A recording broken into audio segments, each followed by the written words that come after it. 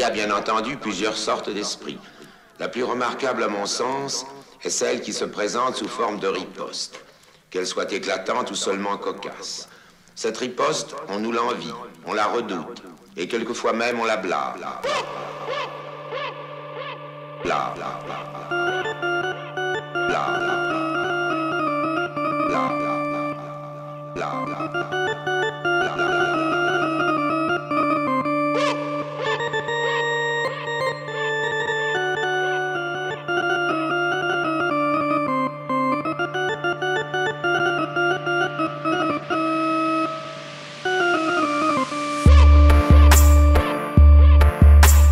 Cette riposte,